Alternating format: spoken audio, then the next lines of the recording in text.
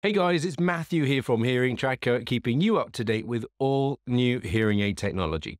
Today, I'll share everything that there is to know about Eargo's latest product, the Eargo 7, and why Eargo are so excited by them. If you're keen on keeping up to date with the latest news in the hearing technology world, then make sure that you subscribe to this channel, press that grey notifications bell, and you'll be updated every time we release a new video. A year after the release of Eargo 6, which was Eargo's most advanced, smallest, and smartest over the counter hearing aid, Eargo have just announced the Eargo 7. Now, before I get started, if you're interested in a free dummy set to see if they fit in your ears, then stick around until the end and I'll let you know how you can get your hands on a pair. For those of you that don't know Eargo, they were founded in 2010 by French ear, nose, and throat surgeon Dr. Florent Miquel and his son Raphael Miquel. In terms of tech, Eargo have released several different devices now, from the Eargo Plus, the Max, the Neo, the Neo Hi-Fi, and the Eargo 5 and 6. In my eyes, Eargo were way ahead of their time with their vision, having provided direct-to-consumer assistive hearing technology since 2017. With some recent tweaks to their existing technology, the Eargos 5 and 6 have now received FDA 510k clearance as self-fitting hearing aids and the Eargo 7 will also have that stamp too, meaning that they can be marketed as over the counter hearing aids. This all follows on from the recent FDA announcement for OTC hearing aids in the US, and as a result of the announcement, there have been an abundance of tech companies, both new and old, developing over the counter hearing aids, which I've listed in this video, and I'll link it in the description to today's video. It feels like Eargo are now sitting in a nice, comfortable position, having warmed up the space for those joining the OTC race. So the big question is, what's new with Eargo 7? Physically, they look the same as the Eargo 6s, and in my opinion, there's nothing wrong with that. This design is small, lightweight, and fits neatly into the ear. There's no question that they do look pretty cool, and this is one of the things that excites me the most about any new hearing aid technology that we're seeing nowadays. Not just these new OTC hearing aids, but also traditional hearing aid manufacturer technology as well.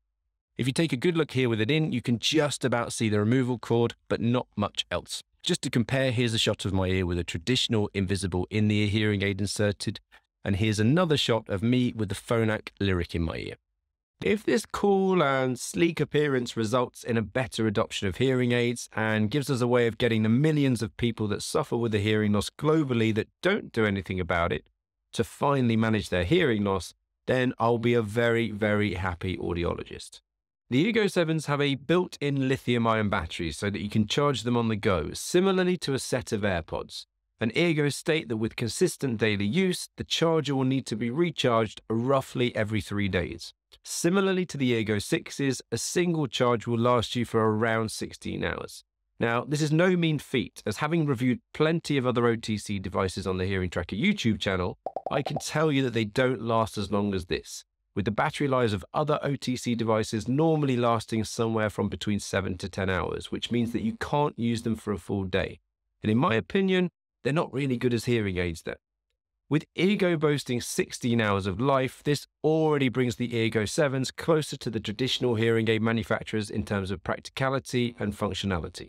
Without getting you too excited though, the extended battery life does come at a cost, which is the lack of Bluetooth streaming that you do get with all traditional hearing aids now and the likes of the HP Hearing Pro and the Jabra Enhance Plus, meaning that with some of the other OTC tech out there, you can hear the sound of anything coming from your phone directly in both of your ears.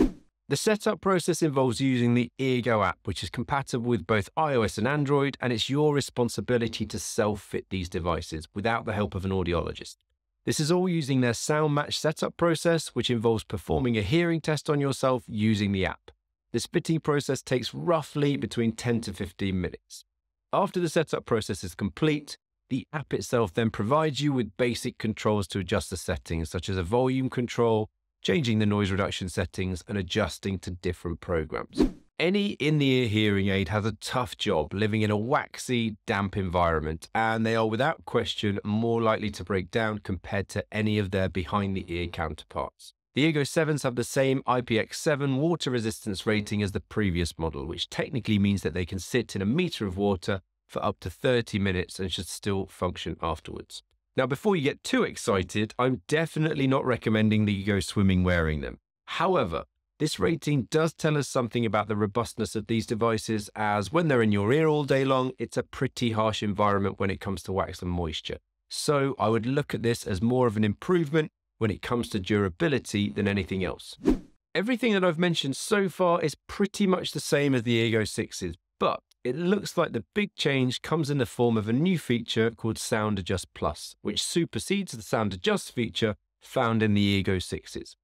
Compared to the previous version of Sound Adjust, Eargo are boasting that the Sound Adjust Plus feature of Eargo 7 offers a faster and more advanced sound processing in louder environments, evaluating the ambient sound and automatically prioritizing speech or reducing noise for comfort, making Eargo 7 better able to cope in the likes of a restaurant or crowded environment compared to the Eargo 6s. As is true of all OTC devices, these are designed for those with a mild to moderate hearing loss. One concern that I do have with all in the ear OTC hearing aids, which no OTC hearing aid manufacturer has really covered in any of their paraphernalia, is something called the occlusion effect. Typically, with an age related hearing loss, the hearing is better in the low tones versus the high tones. And this means that if an in ear hearing aid or earbud style of hearing aid is worn, you may well feel like you've got your fingers stuck in your ears whilst you're wearing them. Eargo have done a great job of designing the petals to try and overcome this, so I would love to know if you've tried them and whether you've experienced the occlusion effect or not. So the main changes that Eargo are boasting with this new development all orbits around their new Sound Adjust Plus feature, and not a whole lot more. Eargo are making some pretty big claims for how they think these will cope in background noise, and I'll be very interested to see if they hold any truth when I get my hands on a set to give them a full review. So make sure that you subscribe to be notified when I have my hands on these OTC hearing aids. If you're after the free dummy devices that I mentioned earlier on, head over to the link in the description to this video. I hope that you found this video useful, guys. If you like this video, then give it the thumbs up. If you have any questions or comments, then drop them beneath this video as I do try and get back to as many people as possible. And if you haven't subscribed yet, make sure you do so. I'll see you in the next video.